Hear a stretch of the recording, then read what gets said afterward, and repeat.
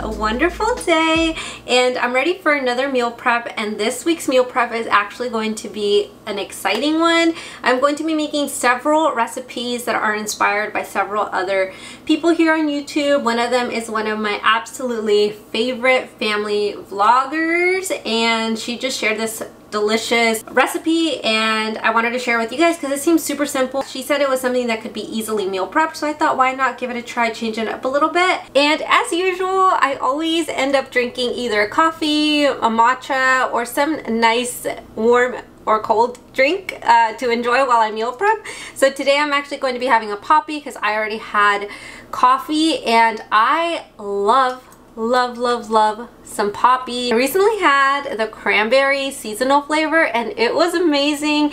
I'm bummed that we didn't end up getting a lot of them while they were in stock. I still have to look around. Maybe they still have some in some stores. But right now I'm having the cherry limeade. My favorite one for sure is the, the one that just came out. But then also the strawberry one. That one is so delicious. I tried an Olipop a few days ago and I just gonna be honest, I was not a huge fan of it. I thought it tasted more of like a juice than it did like a type of soda. But I definitely really enjoyed the Poppi and I've enjoyed all of their flavors so far. So highly recommend them if you are a soda person or trying to get rid of that soda like craving. Poppi is the way to go. I am a huge fan of Poppi, so I highly recommend them. Oh, that's delicious. Okay, so let me tell you what we are going to be making today. We are going to be making a mixture of things. So I was thinking for breakfast, we're going to be making some steel cut oats because I used to have those all the time when I first went plant-based. So we're going to be making those. Another one I thought that we could have for breakfast as well is edamame toast. I found this one on Rainbow Plant Life's YouTube and it looked so simple and it looked like it was jam-packed with flavor, which I'm all about. Um, this one's kind of off the cuff if I want an extra meal or something a little bit different. Is basically a mixed vegetable, like a frozen mixed vegetable bowl with uh, white rice rice, uh, mixed vegetables, and tofu cubes. So I'm going to be prepping the tofu and of course the white rice, but I'm actually going to be making sushi rice today. And then another meal that I am going to be prepping the components for are sushi bowls and I haven't had sushi bowls in a minute so I thought those were those sounded really really good uh, the one that I saw from my one of my favorite uh, family style vloggers her YouTube channel name is Haley's Corner and she shared these vegetable spring rolls and I thought those would be so good for a lunch and so easy because they're just kind of just grab and go sort of thing. So I'm going to be prepping those and I'm also going to be making a sauce for them that she shared as well and I'll link those two, the Rainbow Plant Life down below and Haley's down below as well. So we're going to be making those. I also had thought of making a lentil soup, but I'm thinking that just in case we don't get to it, because I also don't want that one to be too uh, to go bad since we're probably going to have that later in the week. I thought maybe that one's in that one's in the Instant Pot. I'll just save that for later in the week if we end up needing it and getting to it. But if not, it's all good. We'll make it the following week. Um, as for snacks, I thought, hey, we're going to chop up some carrots and maybe some blueberry smoothies throughout the week and some baked sweet potatoes throughout the week as well. So that's kind of what we're working with and I'm really excited. I'm stepping a little bit out of my comfort comfort zone since we're not going to be making the same things that we usually prep. I'm not prepping beans, but that's because we have frozen frozen edamame, we have tofu. So we're getting our protein for sure, but just in um, not from the usual pinto beans, black beans, or chickpeas. Except I, oh yes, yes, yes, I also forgot to mention I'm making a quick hummus without tahini because my daughter I've noticed has a reaction when she has tahini so not adding that to it on hers but uh, let's see how it all turns out. I'm really excited. Y'all know I enjoy meal prepping and it has helped me so, so much. Oh yeah, we're gonna prep Victor some sweet potatoes as well. I don't know, no you can't see them. But we're gonna be prepping some sweet potatoes for Victor for his meal prep. We do have, we are working with brown rice and a bit of Mexican rice. Oops. We are working with some brown rice and some Mexican rice in our fridge and then my daughter also has a few things prepped already. Um, so yeah, with that said, let's get started and let's make some delicious food. So as you see here, I started off with cooking my sushi rice, But then plot twist, when I was rinsing off my rice, I realized that there was these black little bits that kept coming to the surface. After doing some googling, I realized that it was actually um, like little bugs that get in the rice. So I ended up tossing it and then I just ended up using some regular jasmine rice which is still good on this. Just that I was excited and looking forward to a different kind of rice this week but it's okay.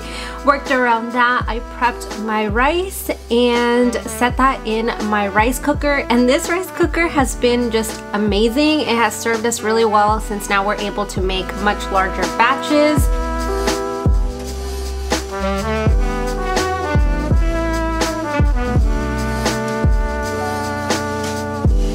moving on to my steel cut oats. For this I used one cup of steel cut oats and two and a half cups of water. I usually pressure cook this for four minutes, but because I wanted them to come out tender based on a blog post that I saw, just because my daughter is having these as well, I wanted to make sure that they were just at a, a better texture for her. I ended up cooking these for 18 minutes like the blog post suggested and they came out perfect for us.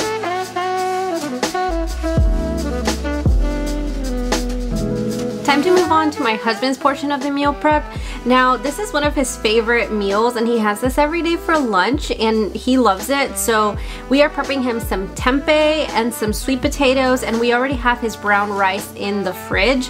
But he basically has this for lunch. He says it's super filling and yeah, he enjoys it. So sometimes I season this up differently depending on the day, but we're going to be prepping some orange sweet potatoes and then some white sweet potatoes as well.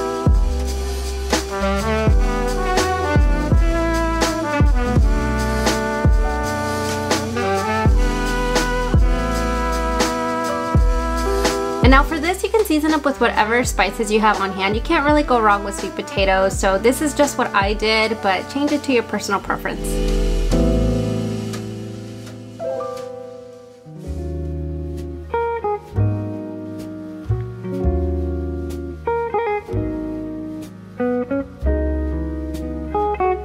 Now my husband puts this in the oven on 425 for 25 minutes and then what I ended up doing once these cooked is I left them in there just to sit with the oven off just to keep them warm before I'm able to put it away. Now moving on to my tempeh, this is pretty easy. I have really enjoyed making tempeh. It's so easy to prep.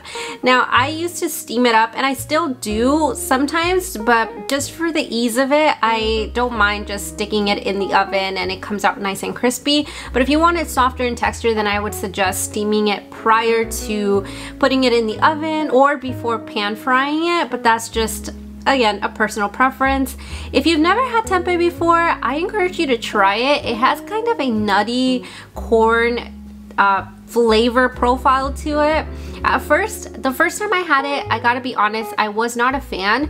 But then after trying it a second and third time, now I could just pick it right off the pan and just eat it as is. It's so good and it makes just such a good addition to a meal, high protein. If you didn't know, it's made out of soybeans, so it's super good for you. So I highly encourage you to try it out. It's so simple and you can find so many recipes for it online.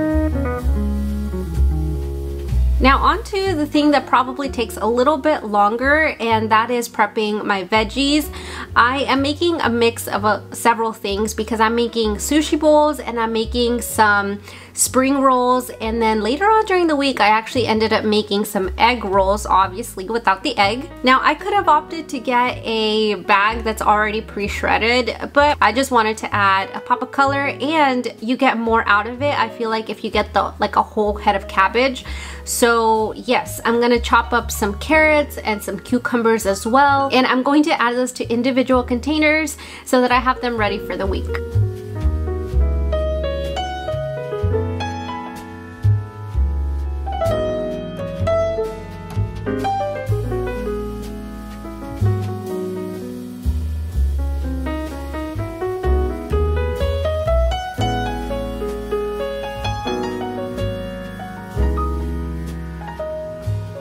Now, along with my veggies, I'm also going to be prepping my green onions and some cilantro just to have it ready and accessible in a container, chopped and prepped, so that I can easily put them on top of any bowls or in the um, egg roll mixture that I'm going to be making later on this week.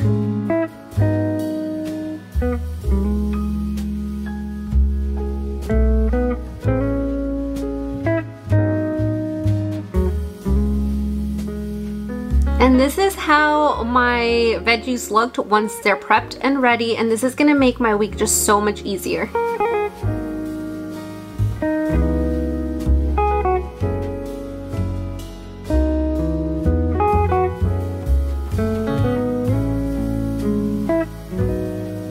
Now because I am meal prepping and we don't have a lot of counter space, I chose to just leave them sitting in the oven. Um, but you could take it out if you want, but it didn't really do much just leaving it in the oven, so we did that. Now I'm moving on with my garlic and my jalapeno and my lime and having this set aside for later when I make that edamame toast spread.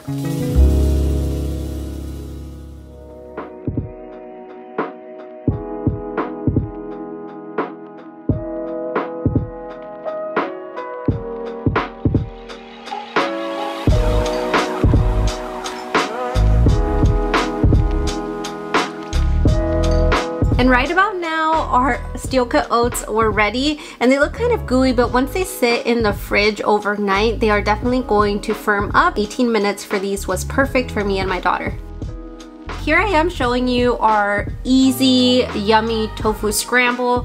So I'm starting with prepping the tofu. I'm just crumbling it up and I added some fresh spinach. And while that is kind of warming up, I am also going to start prepping my tofu uh, so that I can marinate it for the spring rolls and just some more that I can store in the fridge. Uh, let it sit and marinate for later in the week. So I'm doing two. One of them I'm going to be just making into little sticks. And this is going to be for the spring rolls. And I'm also going to cut some into cubes. And this is what's gonna go in the fridge. And I could toss it in the air fryer for later use.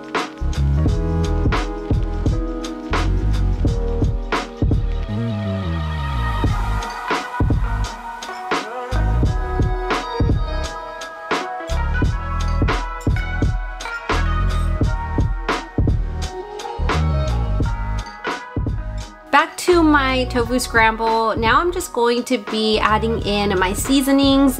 This is hands down one of the best tofu scrambles that I've ever had and that's not to toot my own horn. I just truly really enjoy this over toast on its own with shredded hash browns or um, in a bagel. It is just so flavorful and it's so delicious and if you're not a fan of tofu guys you need to try this and then let me know I this happened by just by chance because I wanted the tofu to have extra yellow color. And I don't add black salt because I just to be honest the eggy smell of it I just don't enjoy anymore. So I just add some salt and some pepper at the end um, and this is perfect. Victor loves the stuff. So we made some extra for the week because we love it my daughter loves it and it's just so delicious so now that our tofu scramble is done, we got time to prep our other tofu marinades and I'm just doing it very basic. You could definitely find some fancier marinades online, but you know, we're going for quick and easy here, so that's just what I'm doing, but you could change it up, you can add more, you can do whatever you want with these, you know, have at it.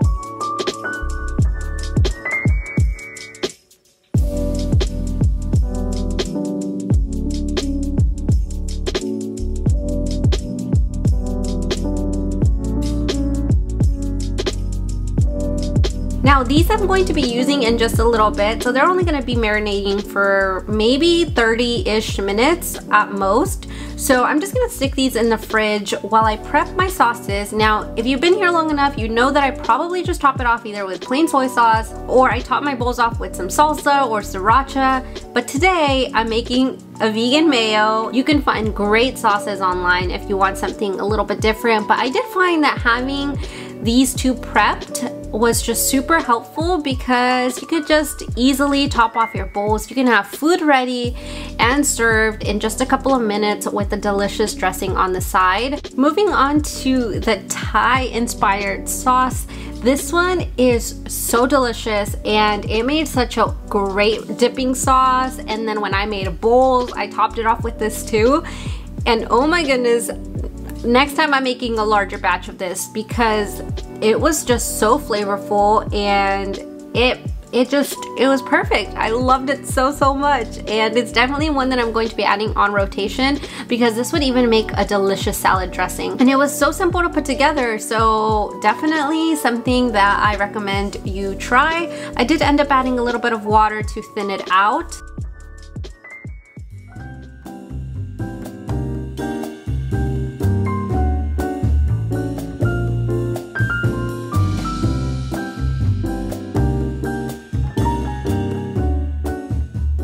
have to make the edamame toast and the um, rolls. That took forever. This is why sometimes I don't like trying new recipes and I stick to the usuals that I prep because it just gets too complicated. But we did have dinner in the middle, so that's like an extra added recipe. And I forgot about the tempeh. So I guess it just means we have extra things ready for the week. But right now I'm microwaving the edamame and yeah, I'm not gonna make the hummus because I realized we don't have a can opener because our other one messed up last week. So we're just gonna make the toast. I didn't think we needed that much, but we do. So I have this.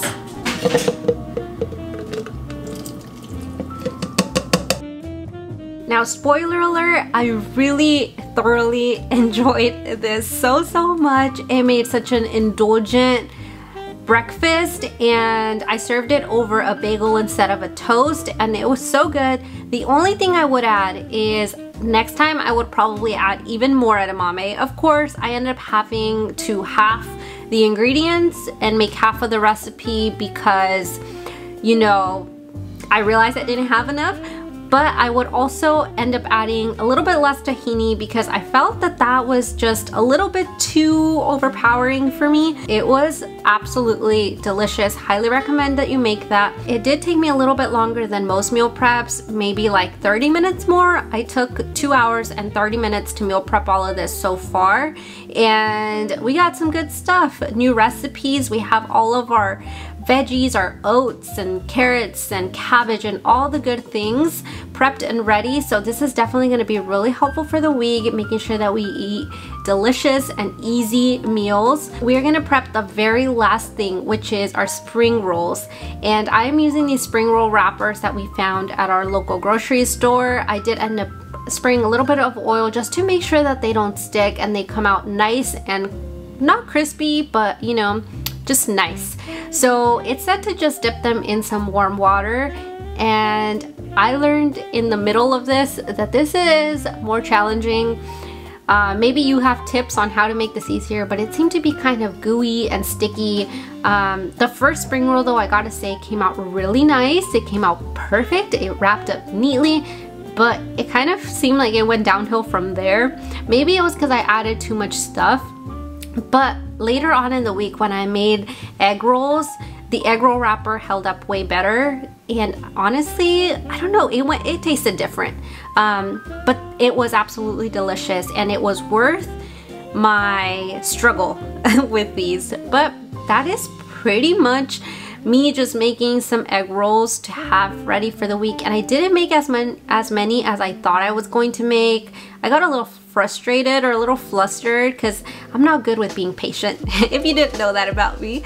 Uh, so I just kind of went with the flow and I had to remake some of them. But overall, I'm glad I made them. It made a delicious lunch.